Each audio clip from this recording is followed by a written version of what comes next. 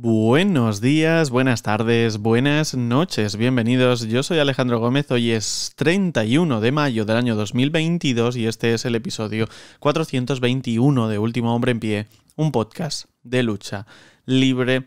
Monday Night Raw está copando todos los combates de Hell in a Cell. Hay seis confirmados y los seis son de Monday Night Raw y esto nos deja con, con una línea del horizonte clara. Night Raw es la que sustenta WWE. Y dentro de Night Raw, Seth Rollins, Cody Rhodes y en menor medida la división femenina es la que está sustentando, en este caso, Monday Night Raw. Es decir, estamos viendo cómo mm, el draft y también, evidentemente, la aparición de Cody Rhodes es tan importante, es, es tan, tan de enjundia que ha conseguido que Mondina Ross sea un show con muchas capas, sea un show con muchas aristas, sea un show con muchas, eh, con muchas acepciones. Pero claro, ya no solo viene del draft, ya viene de cómo construyes tú las propias historias, porque es que nos vamos a, a, SmackDown y tienes al gran campeón, que es Roman Reigns, campeón múltiple. Los dos títulos mundiales están en su haber. Tienes a los campeones unificados por parejas, y tienes a Ronda Rousey. Puedes tener mejor, mejor fondo de armario Monday Night Rock el año pasado, pero tampoco tiene mejor roster. Tiene menos roster porque tiene una hora menos semanal. Pero eso no significa que tenga que ser un peor show en este sentido, ¿no? Y normalmente cuando hablamos de este tipo de cosas, hablamos, por supuesto, de, de, de comparaciones. Y siempre tendemos a decir Raw es mejor que SmackDown o viceversa. En este caso, Night Raw lleva muchos meses siendo mejor que SmackDown y sobre todo, Night Raw ha conseguido ser sólido. Sólido en sus tres horas. Eso es muy difícil, eso es eh, ciertamente complicado y complejo. El que en esas tres horas tengas un show que más o menos siga una línea argumental y que más o menos tenga preparadas algunas de las cosas para salir adelante y que sobre todo tenga la potestad de ser importante sin un campeón mundial, eso no es fácil. Y es que en el pasado ya habíamos visto que la fórmula no sale del todo bien. Cuando no tienes campeón mundial. Cuando tú tienes a ese luchador part-timer que era campeón y demás, eh, a Mondina Roll había ido bastante, bastante mal, ¿no? Había estado perdido, ¿no? Aquí no. Aquí tienes eh, tres semanas consecutivas de main event de mujeres, ahora tienes aquí un Bobby Lashley contra Homos, que te puede parecer mejor o peor, pero al fin y al cabo eso es lo que cierra Monday Night Raw. Y luego especialmente tienes historias con Ezequiel y Elias, tienes historias con eh, Birmahan, tienes historias con Austin Theory y Mustafa Ali, tienes historias de, de todos los tipos y, y para todos los gustos.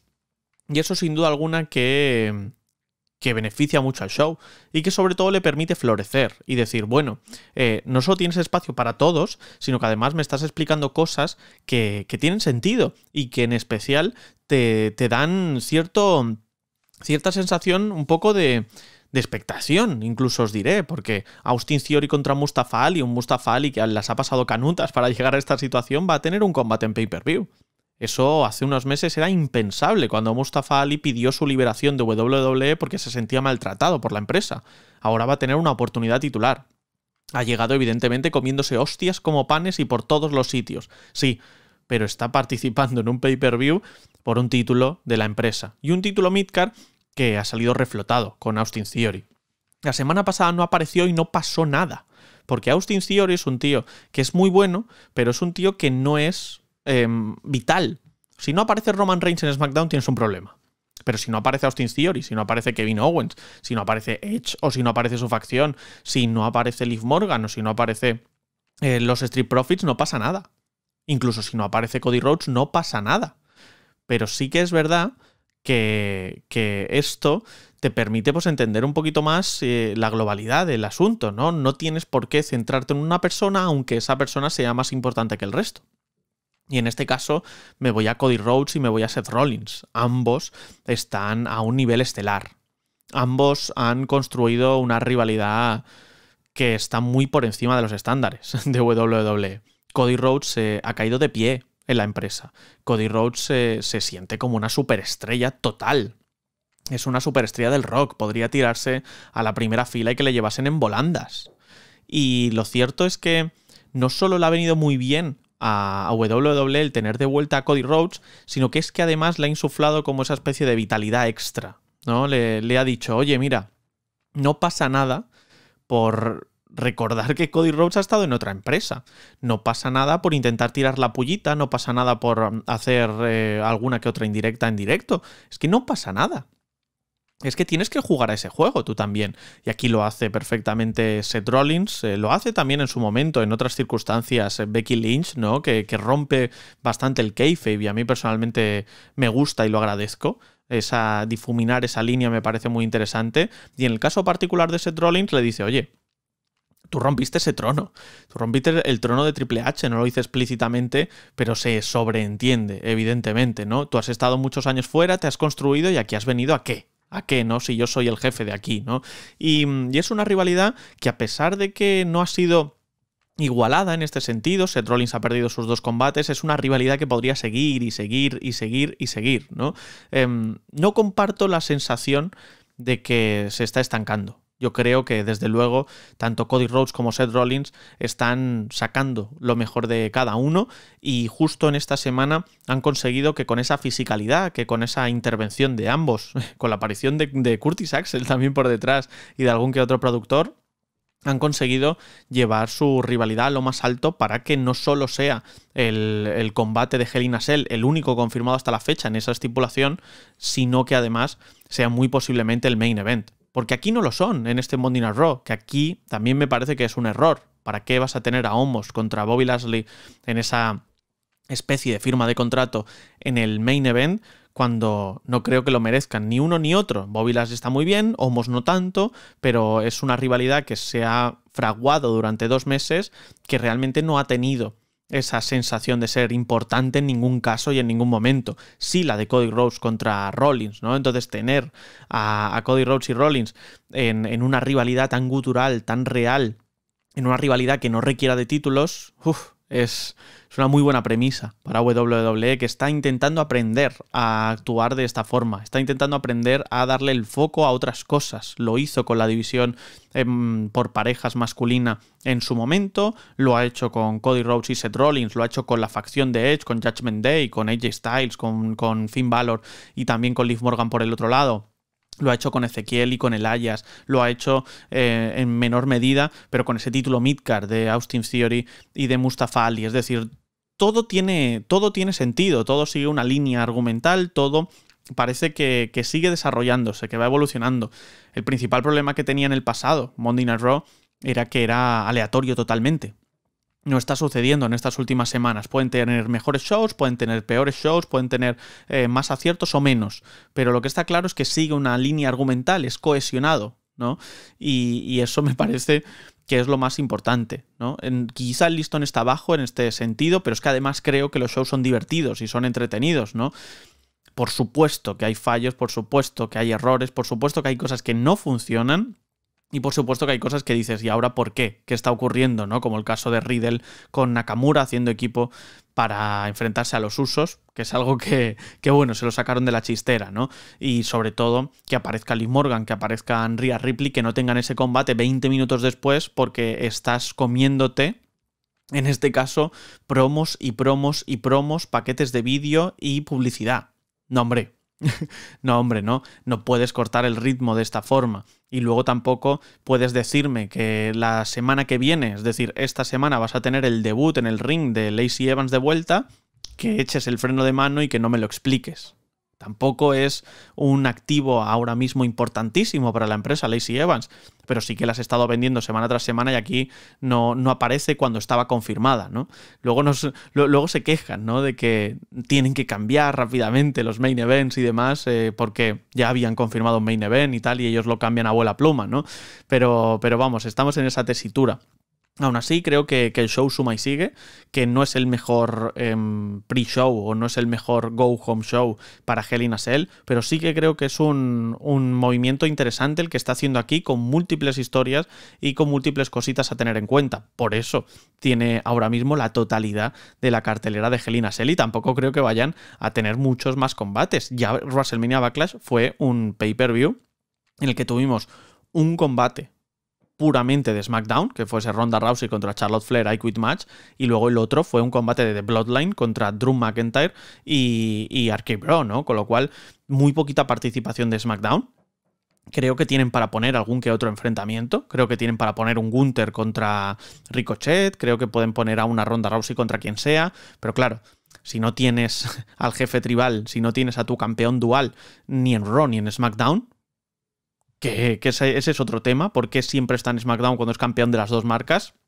Pues evidentemente que tiene que tirar del carro Raw y es lo que está haciendo en estas últimas semanas. Vamos a hablar del show de la marca roja WWE con Juan de Stanner Podcast y en la segunda parte del programa vamos a charlar con Gim Malcabar y lo vamos a hacer sobre la situación de New Japan Pro Wrestling y Kota Ibushi que nos explique qué ha ocurrido, qué ha pasado, salió New Japan Pro Wrestling a hablar, a ver qué, qué dijeron y en qué quedaron, porque la verdad es que es un tema bastante, bastante turbio. Así que vamos allá porque da para podcast. Si os digo que, que Juan se está viendo en cámara como si estuviese absolutamente achatado, que parece que, ha ido a un desguace de coches y le han, aplastado la cabeza, pero no, yo lo veo bien, eh, ¿os lo creéis o no? En fin, la vida, ¿eh? Juan, ¿qué pasa? ¿Qué tal? ¿Cómo estás? Hola, Alex. Eh, bueno, aviso que los 100 primeros que, puedan, que pidan eh, una versión Funko Pop de mí la pueden, la Esa foto la tiene que ver la gente, la tiene que ver la gente, Juan, tiene que subirlo a las redes, eso. Sí, sí, cuando subas el episodio lo subo como... hombre, hombre, eso la, gente se tiene que deleitar. No, no. No puedo, o sea, es que cuando me río es muy De verdad, de verdad, que cuánta, cuánta tontería, tío. En fin, eh, os recuerdo que podéis seguir para, para esta y más cosas a Juan en arroba doble. Tío, ¿cómo, ¿cómo estás? Aparte de achatado. Bien, bien, bien. La verdad que, que Raúl, a, pesar de lo que parece en la imagen, eh, no me ha dejado chafado, ¿sabes? O sea, me ha gustado. Creo que ha sido un buen show, pues teniendo en cuenta pues, a dónde vamos. Y además, pues me ha gustado sobre todo porque hemos tenido varias cosas que no me esperaba ver. Mm. Sobre todo a Liz Morgan ganándole a Rhea Ripley. Sí. Así de forma un poco limpia. A mí me ha sorprendido, te diría. Limpia pero bocheada a su vez, ¿eh? porque la verdad es que el backbreaker ese no les acaba de salir demasiado bien y luego pues tiene ese roll para victoria. Bueno, más o menos, sí. Sí, pero bueno, se, se... no quiero entrar en eso tampoco porque considero que que bueno, que el resto del combate está bien. O sea, no empaña, creo que ese último error no empaña su, actuación. Y luego también me, gusta también eh, un poco el, combate de, los usos y, Nakamura con Riel. También creo que, hace justicia al show. Lo que todavía estoy intentando entender es por qué cierran con Bobby Lashley. eso, eso no lo vamos a solucionar tú y yo aquí, ¿eh? porque yo sí, eso sí que no lo entiendo. Es decir, de todas esas historias, incluso te compro Realmente no, pero incluso te podía llegar a comprar que cerrasen Kevin Owens y, Ezekiel. Pero Homos y, Bobby Lashley, que es un feudo de la midcar baja, casi. Mm, a mí me sorprende mucho que cierre y sobre todo teniendo en cuenta que tienes a, Cody Rhodes y, a, Seth Rollins haciendo un pedazo de segmento en justo en el medio del show. Sí, a ver, también soy partidario de que ese segmento evidentemente no puede cerrar el show, pero pero me, deja frío. O sea, quiero decir, ese final es lo que me deja frío realmente de Raw. El resto me parece un Raw totalmente eh, válido y más siendo pues ya eh, Hell es lo que te digo, yo realmente cuando lo, estaba viendo, digo, uy, que de hecho lo he pensado, digo, porque como voy pasando muchas veces los segmentos que hay entre medias, que son los video package y tal, no había visto nada de, no sé si llega a salir algo de Homos y de Bobby Lashley, como que se va a firmar el contrato esta noche, tal, no, lo había visto. Y digo, uy, parece que esta noche me voy a escapar de, tener que hablar de Homo y Bobby No, eh, error. Yo cuando se acercaba al final, esta mañana cuando estaba viendo el show, yo digo, pues no lo tenemos. Porque sí que es verdad que comentan que vamos eh, a tener a Homos y, Bobby Lashley hablando, pues eh, y sobre todo haciendo esa firma de contrato en un Chuon One Handicap Match en Helena Cell, que no es dentro de la jaula del infierno, no lo es, es un combate normal. Em, yo digo, bueno, pues se habrán, eh, se habrán olvidado, porque es que quedaban 10 minutos de show. Digo, bueno, no puede ser, no pueden cerrar con esto. Error. Cogió las maletas y se ha ido. Sí, sí, sí, efectivamente. No, pero no. Fue. Es una, una, forma más de decirle al espectador, oye, que nosotros confiamos en Homos, ¿no? El problema es que el espectador no sigue. no, no sigue a WWE en este sentido. No, pero, pero eso, creo que, creo que, bueno, lo, lo bueno que tiene esto es que ya estamos un día más cerca de acabar. Sí un día más cerca de que Homo se vaya a Main Event. Sí. Y es un día para celebrar, evidentemente. Mm. Cada vez que, recortamos plazos, mejor que mejor. Siempre, siempre que hablamos de Homos, yo, yo pienso en si los niños que éramos nosotros, eh, por allá 2006, 2007 y demás, verán ahora en la actualidad a, a Homos como nosotros veíamos a Gran Cali antaño, ¿no? Es algo que me, me surge la duda siempre. No, estoy seguro. O sea, quiero decir, el Gran Cali tiene, tenía un, un carisma. Es que. Tenía un carisma, bueno, a ver. No, entiéndeme, quiero decir, es que realmente daba miedo como gigante. O sea, y, creo que el carisma de gigante lo tenía. Además, el estrés exótico también le daba un punto. Pero, pero es que Homos, para mí, sinceramente, no, tiene nada que le haga especial del resto de, gigantes que hemos tenido. Quiero decir, podría ser cualquier otro. Sí, sí, sí. Podría ser el Commander así si no pasaría nada. Yo. Em, yo creo que Homos abre un debate interesante que creo que será para otro día, pero es em, el fracaso del Performance Center. Es decir, Homos llevaba años en NXT, em, no debutó en NXT, pero sí que hacía todos los house shows en la costa este y, y no aprendió gran cosa. Es decir, no es un luchador que tenga mucho carisma, ni es muy bueno en el cuadrilátero. Ha estado un año con AJ Styles, luego ha tenido esta historia y siempre es de bajo perfil. Siempre le están llevando en volandas. Es un problemón eso. La verdad que, la verdad que el debate ese es interesante y, cuando quieran me apunto a hablar de ello, porque es verdad, creo que, creo que lo hemos visto. Eh, eh, le cuesta mucho de, de todo toda la gente que hace tryouts y que a lo mejor se tira uno o dos años en el Performance Center, son muy pocos los que salen siendo válidos para la empresa. Entonces, o bien tienes que mejorar la forma en la que seleccionas a los que vas a entrenar, o hay algo en tu formación que no está siendo positivo y que, está impidiendo que esa gente que tú le veías el potencial lo exprima. Yo creo que, a todas luces, eh, sobre todo después de la pandemia, de momento está siendo un fracaso estrepitoso el Capital Wrestling Center. Claro, ahora bien, hay que esperar porque la fórmula ha cambiado y bueno, eh, y hay que darles tiempo, pero a Homo se le dio mucho tiempo. ¿A Lilla cuántos años lleva en WWE? ¿10 años? Y ha ganado siete combates y no la vemos mejorar demasiado. O sea, ya le lleva un montón de tiempo también en WWE y no ha mejorado mucho. Shotzi Blajar, estamos en la misma. pienso que, por ejemplo, en el tema de Shotzi o incluso en el de Saya Lee, a mí me da la sensación de que es más un, problema de gestión creativa que de, problemas de, ella o de mm. ellas como luchadoras. Sinceramente, yo creo que ellas son válidas el problema es que creo que no tienen el, enfoque creativo adecuado, que también puede ser en parte por culpa de ellas mm, o por culpa de, los creativos, pero me da esa sensación. Creo que hay luchadores que, valen y otros que no. Ellas, dos, por ejemplo, sí valen. Eh, quien, por ejemplo, no vale, y lo hemos dicho por activo y por pasiva, es Somos. Lo único, pues bueno, como sigue siendo alto a día de hoy, a las 2 y 25 y sigue siendo alto, pues yo, yo fíjate que te diré que más o menos están a la, está a la par con Shanky, ¿eh? Me parece los dos horrorosos. Hostia. yo me quedo con Homos ahí. Hombre, yo si me tengo que quedar con alguien me quedo con Homos, pero si pudiese no quedarme con ninguno, me, quedaría con ninguno. Claro, claro. o sea, si, si, me tengo que poner. Entonces, que cierre, pues a mí me cuesta mucho verlo. Em, no, no creo que fuese para cerrar. Eh, pero vamos, Mm, yo tengo la certeza de que Raw está aguantando WWE, porque SmackDown está siendo malos shows, NXT 2.0 pues es lo que es, NXT UK cada vez está peor, eh, Level Up pues es eso, y Main Event no lo ve nadie, ¿no? Entonces, Raw está aguantando, y yo creo que el que está aguantando Raw partiendo de la base de que Raw está aguantando WWE es, Cody Rhodes, entre otros, pero uno de los grandes, ¿no? Me parece que el, segmento que tiene es muy bueno, tanto Seth Rollins como él, y que es una gran rivalidad. Tiene que ser sí o sí para mí el main event de Hell in Sí, hombre, evidentemente, y más teniendo en cuenta que no va a estar el título mundial en juego, yo creo que va a ser seguro ese. Eh, la rivalidad, decíamos eso, que se estaba como aplanando un poco la semana pasada. Me gusta esta fórmula. Es una fórmula en la que Mm, no es tan necesario que haya palabras, sino que haya una confrontación física, que, muchas veces es algo que como que han dejado un poco atrás. Y a mí me mola mucho cómo, van entre el público. No sé, me, parece que, está muy bien gestionado y que es el punto perfecto para tener ese, combate. O sea, es el cierre perfecto para que acabe y, por fin acabe la rivalidad. Mm, ¿No, ¿no te recuerda a esos segmentos eh, de la época Sina?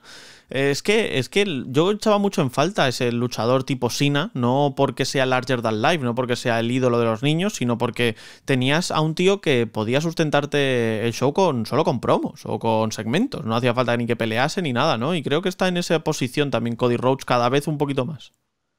Sí, a ver, eh, hay que intentar no impostarle esa figura y, creo que todos tenemos claro que de momento, a medio plazo, Cody Rhodes ha venido a ser el babyface que quizá WWE creía que le faltaba, que es ese rollo más John Cena, más, por ejemplo, porque Drew a mí es una persona que me parece un babyface cojonudo, pero siempre lo he dicho, a nivel promo, a mí no me termina. O sea, me gusta, no lo hace mal, pero no es top.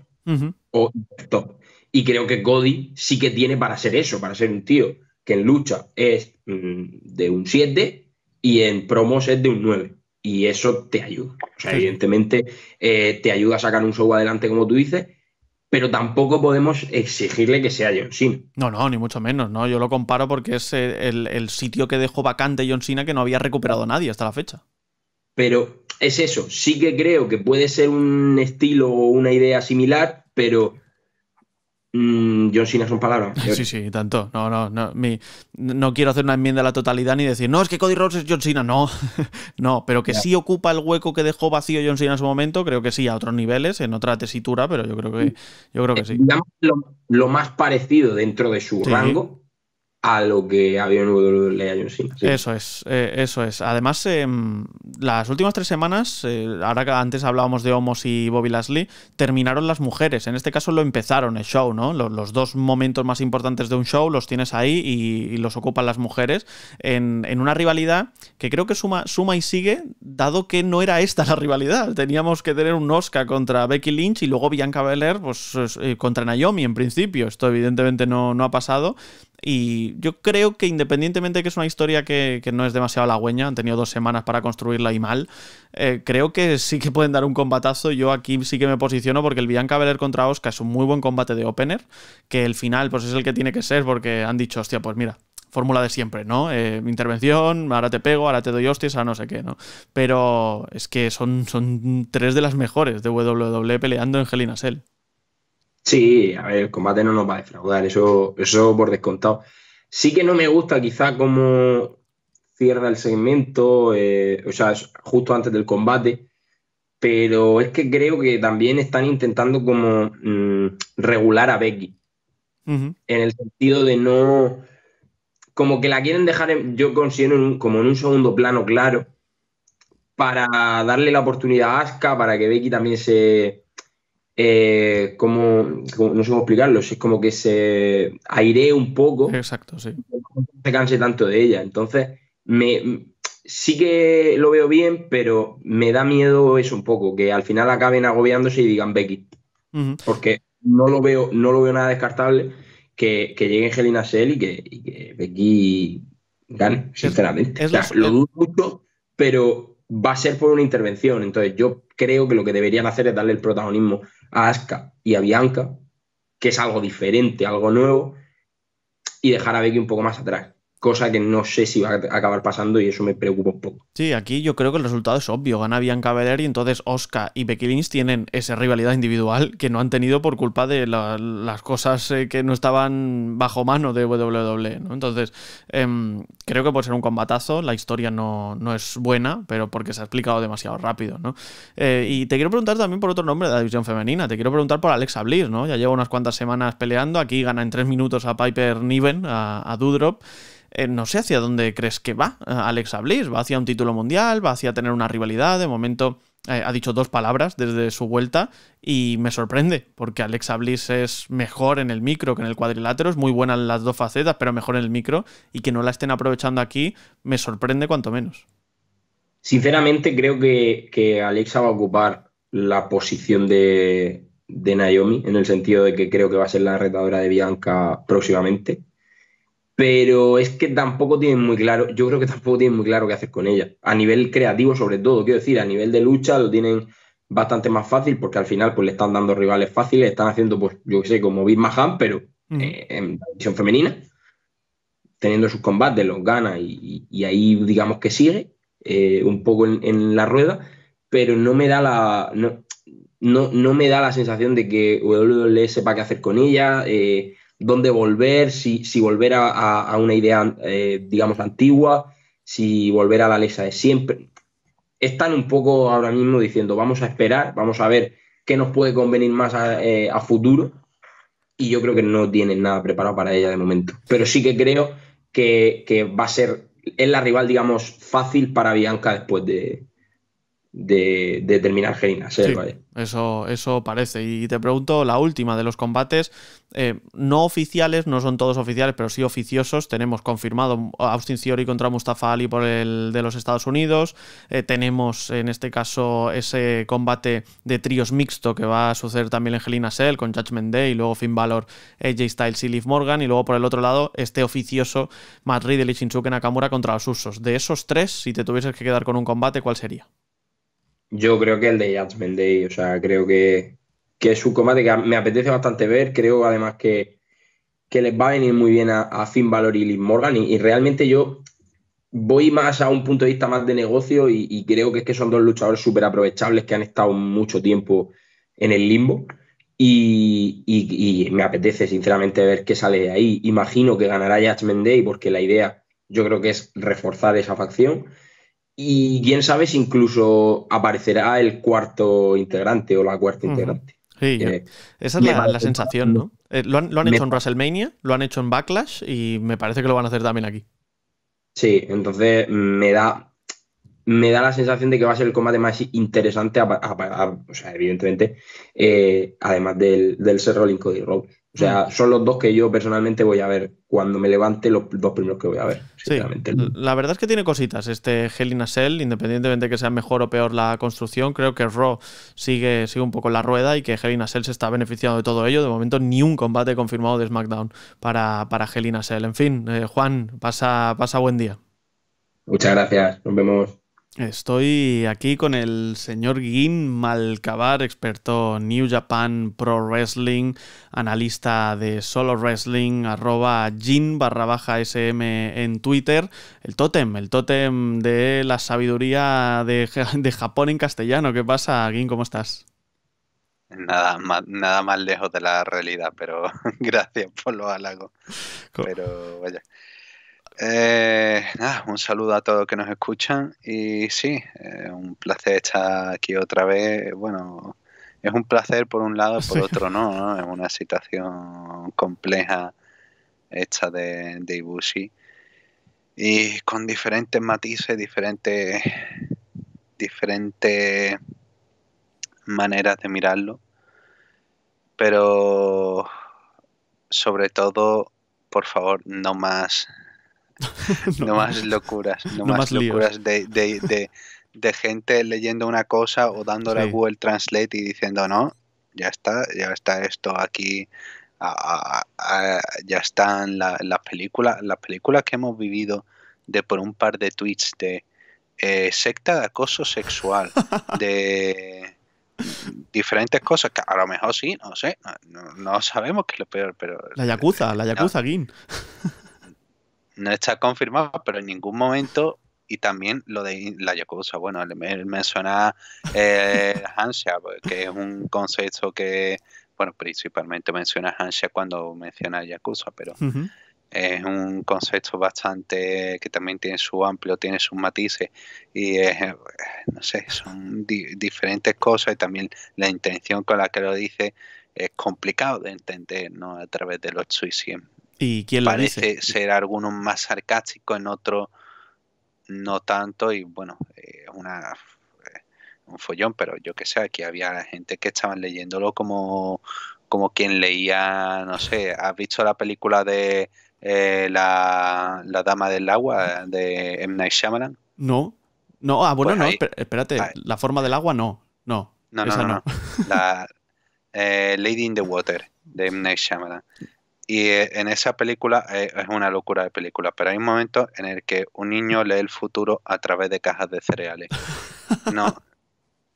Pues eso era la situación con eh, alguna gente leyendo los tweets de Ibushi y yo viéndolo desde un margen diciendo que, que, está pasando aquí, que está que está esto, no sé, era toda una locura. Era, era por, por parte del emisor, que es Kota Ibushi, que ya sabemos eh, quién es, eh, los tweets además en japonés, con traducciones al inglés que intentamos interpretar nosotros al castellano, es decir, era, bueno, fue, fue, un, lío, fue un lío tremendo, pero yo, yo tenía ganas de que saliese en New Japan de forma oficial, porque fue un tema realmente turbio y bastante hablado, y, y salió, salió el presidente de New Japan Pro Wrestling, salió Bari el viernes eh, pasado y, también eh, Kidani, ¿no? el presidente de Bushi Road, a explicar un poco la situación.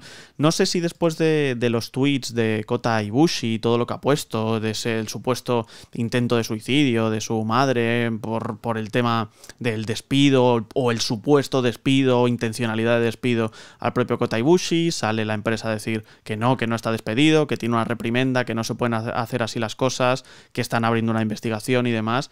Pero ¿cómo ves tú em, por parte de New Japan, ¿no? Que se cierra un poco el círculo en este sentido. Tenemos ya las dos versiones. No sé cómo lo ves tú. Eh, bueno, realmente no tenemos todas las versiones. Eh, no conocemos del todo la versión de Ibushi, que es el tema. Eh, había otra cosa de, por ejemplo, otro, otra figura que también han vilipendiado bastante, como es Hideki Suzuki que escribió eh, poco profesional, escribió durante esos días. Y la gente pensaba que se refería a Ibushi. Pero no, Hideki Suzuki se estaba refiriendo a los periodistas, él mismo lo confirmó después. No, yo me estoy refiriendo a los periodistas y fue directamente a unos periodistas japoneses por hacer un artículo sin, sobre la situación sin ir a ver qué es lo que tiene que decir Kota Ibushi. Entonces eso era poco profesional, pero alguna gente ya empezaba a decirle, no, hay que ver cómo puede ser Hideki Suzuki decir que Ibushi es poco profesional. Pero bueno, me estoy andando por la rama. La situación cronológicamente, al menos por lo que entre New Japan y Kota Ibushi han hecho saber, eh, la siguiente.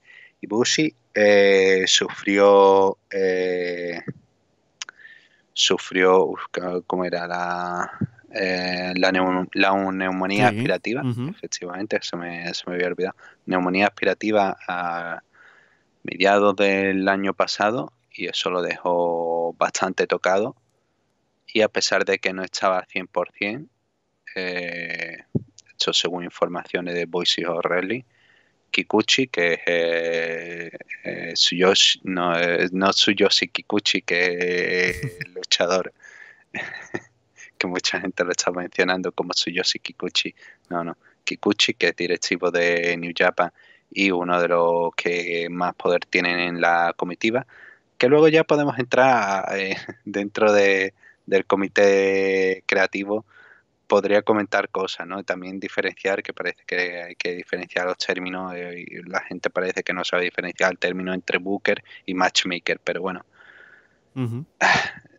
sin irme más por las ramas. Ibushi no estaba recuperado, Kikuchi, que era eh, el creativo fuerte, digamos, el que lleva eh, Super j son los que en Occidente tienen más información sobre New Japan y los que siempre han comentado en sus directos cuando hablaban de decisiones creativas siempre han mencionado el comité. Nunca han mencionado a Guedo como el principal responsable. Siempre hablaban del comité porque sabían que era hecha, tenían constancia de que era un grupo de más personas y Guedo no era la voz cantante, eh, era Kikuchi. Bueno, Mercer también dice cosas contrarias. digo, hay una situación con bastante matices, voy a intentar resumir lo máximo posible. Ibushi se encuentra mal. Y Kikuchi le dice, tenemos planes para ti, para el G1, para llegar a la final y todo eh, para que vaya más cosas de cara a Wrestle Kingdom. Ibushi no estaba al 100%, pero fuerza la máquina. Y había crítica de que, bueno, Ibushi no estaba en ese G1, de que no estaba al 100%, pero bueno, estaba, estaba rindiendo lo que podía. Llegó a la final, ¿qué pasó? Se lesionó el hombro, ¿no? Fuerza la máquina demasiado y ya pues ya no tienes 20 años, ya el cuerpo pues se rompe más sencillo y apartado meses y meses eh, sin notar mejoría, sin notar son años de castigo, son años de sacrificio y el cuerpo pues no recupera tan fácil. En principio parecían dos meses, no son dos meses, era más tiempo. Y Kikuchi seguía eh, planificando cosas ¿no? para, para Ibushi. Ahí llegó esa situación de tensión de cara a New Japan Cup, de buquearle, de tenemos planes para ti, de tenemos cosas fuertes para encuentros importantes eh, y Bushi dice, no lo siento, el hombro no está recuperado y ya empezó con algunos tweets públicos de queja en aquel entonces. Eh, New Japan anuncia y a los días eh, deshace el anuncio, dice, ¿no? Eh, vaya, todavía sigue lesionado. Y en ese momento Ibushi es invitado a, por Takami Chinoku, que es amigo conocido de, de Ibushi y lo invita a estar en Just Tap Out, en el show de Just Tap Out de marzo en el Korakuen. Va Ibushi, pero Ibushi sale de bastidores y está y asiste en el ring.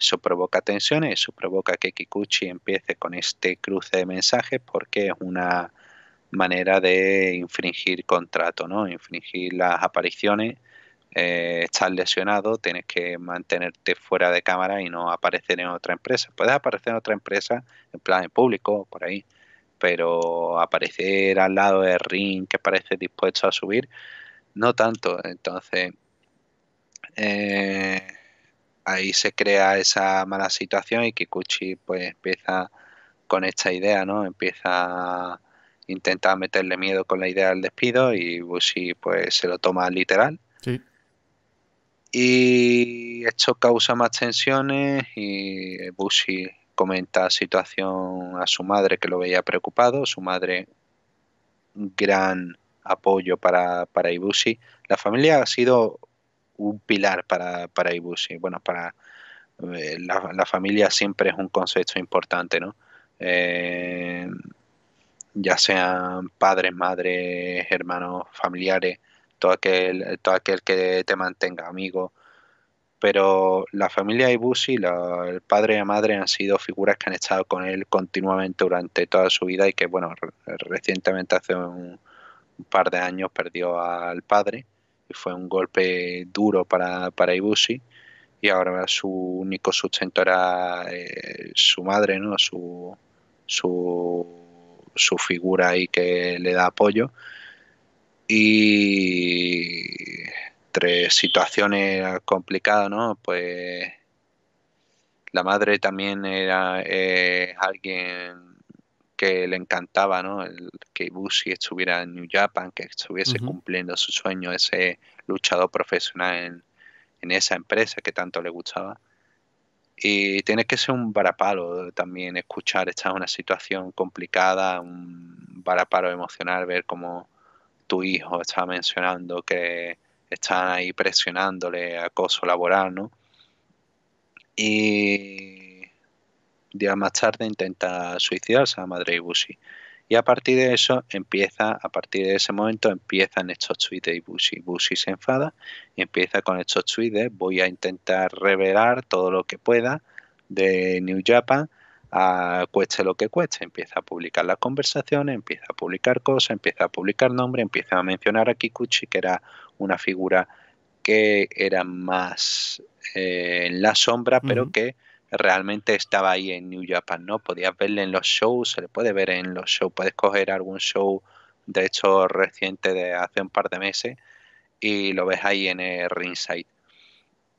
Y la situación se complica, el equipo, según lo que comentaron en la conferencia de prensa, ahora ya volvemos a la conferencia de prensa después de todo este, después de todo este resumen. En la conferencia de prensa comentan que esos días estuvieron reuniéndose con el equipo legal, New Japan, para saber cómo abordar la situación. Por un lado, quiere quedar bien con Ibushi y a la vez tapar la, lo que quiera sacar, ¿no? De, las cosas, comentarios negativos y por otro lado, quiere, quiere que la situación termine porque no te, no te conviene. Una gran figura, es una y quedas mal. Y es una empresa, y New Japan eh, forma parte de Bushi Road que están cotizando en bolsa. Eh, aquí añade otro inciso, disculpa, son muchos incisos, pero eh, aquí nuestro amigo Dave Meltzer señaló, no, esto está afectando las acciones en bolsa de Bushi Road, lo cual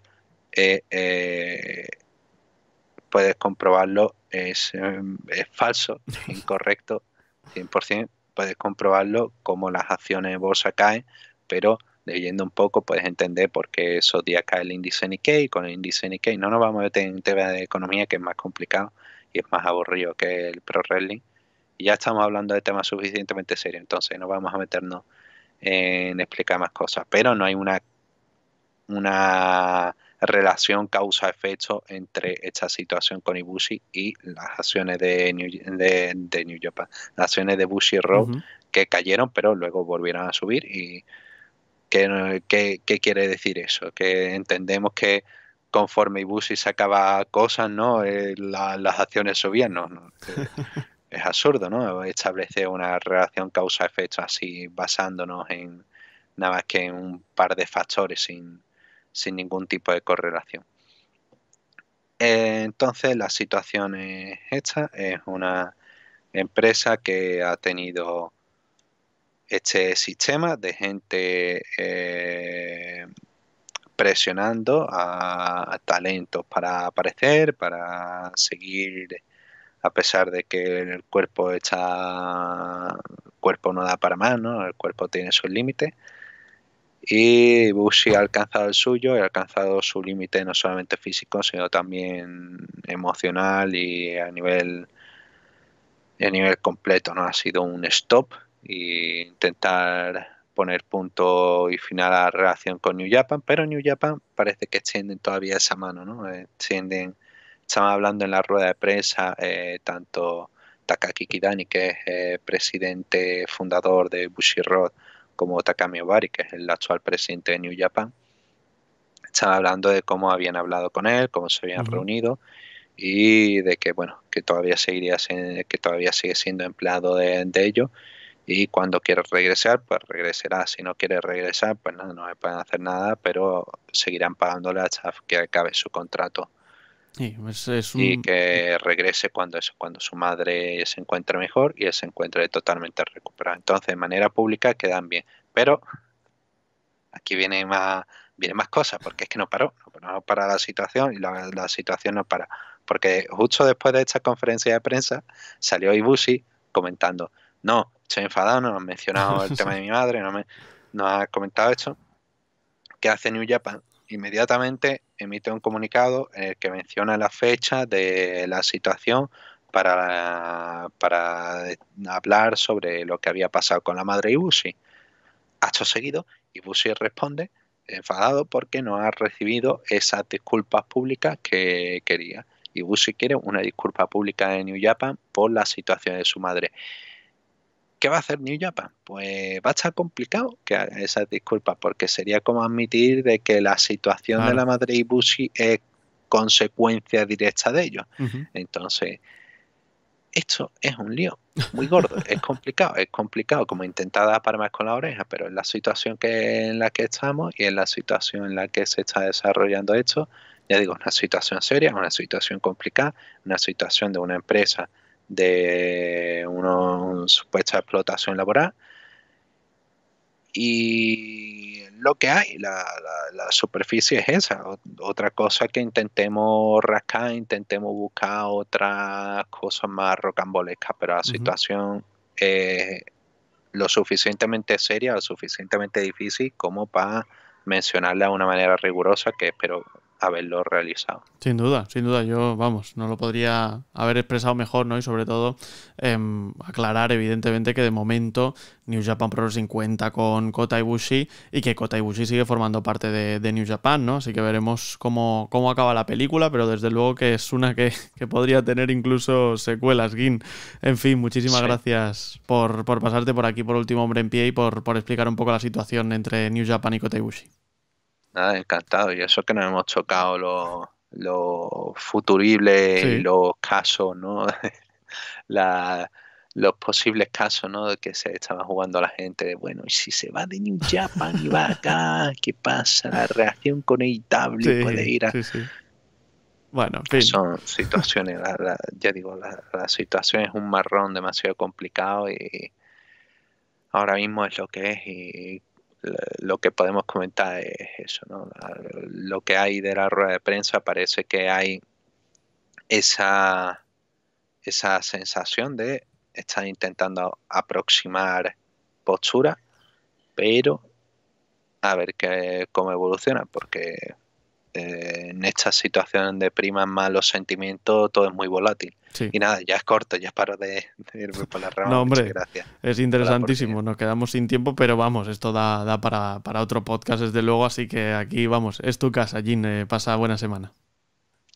Adiós varios apuntes de esos que siguen trayendo cola de All Elite Wrestling Double or Nothing. La verdad es que la rueda de prensa posterior de Tony Khan es, increíble. O sea, hay que verla porque la verdad es que es un personaje de todas, todas. Es, un tuitero, pero también es el presidente de, de All Elite Wrestling. Es un personaje. Sin, sin lugar a dudas, Tony Khan le preguntaron por varias cosas, ¿no? Pero las que tienen que ver con el deporte, le preguntaron por la Casino Battle Royale, que por qué no hubo. Pues evidentemente porque era un combate larguísimo y porque tenías casi prácticamente toda la gente que merecía la pena dentro de, show, ¿no? Con 12 combates más uno en el, en el buy-in, ¿no? Con lo cual, evidentemente él dice que no, que no podía meterla lo que es completa, total y absolutamente lógico. Además, también comentaba Fightful en las últimas horas que van a tener una reunión tanto Tony Khan como MJF. Eh, se van a reunir y van a ver qué, qué, pasa, qué sucede, si pueden solventar la papeleta y solucionar un poco todo lo que haya pasado entre medias, ¿no? El tema de la realidad, la ficción, qué sucede, qué no sucede, por qué estás enfadado, por qué no, qué pides y qué me das a cambio, ¿no?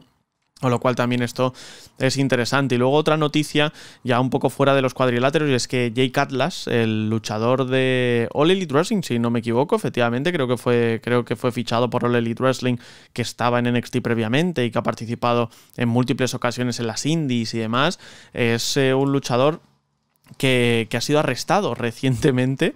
Ha sido arrestado en Florida por una situación de, violencia doméstica. La gente comenta y dice que ha sido en contra de su pareja. Ya sabéis que Jake Atlas es miembro del colectivo LGTBIQ y se dice que su pareja, que su pareja es Doug Hudson, el luchador de NXT, que en la, en la vida ficticia estaba liado con Persia Pirota.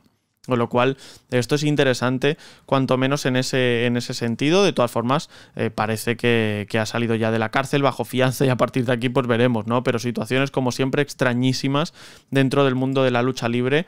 Em, y es lo que es. es lo que es.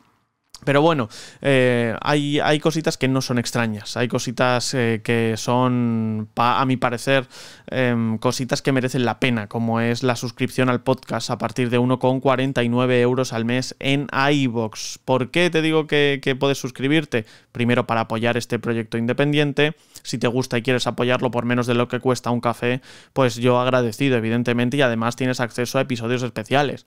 Cada sábado publicamos un episodio especial y este sábado vamos a hacer la review de, de WWF In Your House 18 Bad Blood. ¿Por qué?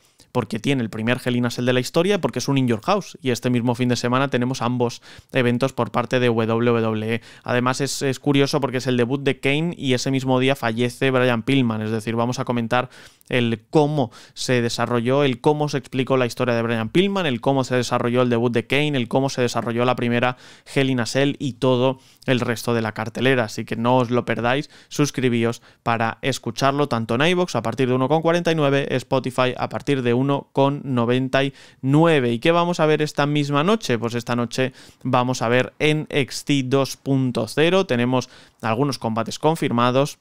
Y es que tenemos a Toxic Attraction que van a encarar a sus retadoras para In Your House, es decir, van a encarar a Katana Chance y Kaiden Carter. Además, también vamos a tener un Tiffany Stratton contra Roxanne Pérez, que es la final del Women's Breakout Tournament. Me interesa este combate, no os voy a engañar. Cameron Grimes contra Nathan Frazier y Cora Jade contra Electra López. Veremos si esto va bien, si va mal, si va regular. Ya, ya veremos. Porque la semana pasada fue. Bueno, fue mal, como poco, fue mal, como poco. En fin, yo esta tarde estaré también por Twitch en SIR Reales Gómez, así que os invito a todos a que os paséis. Estaremos haciendo la previa, comentando un poquito la cartelera de Hell in a Cell. Además, también eh, vamos, vamos a estar ahí. Veremos si jugando o no a WWE 2K22. Y yo os recuerdo, como siempre, que me podéis seguir en Twitter, Instagram o TikTok en SR Alex Gómez y que no tengo un Rolex, no tengo un jet, no tengo una limusina como el bueno de Ric Flair. Pasen un muy buen día. Ahora que habéis llegado aquí, sois el último hombre en pie y. ¡Woo!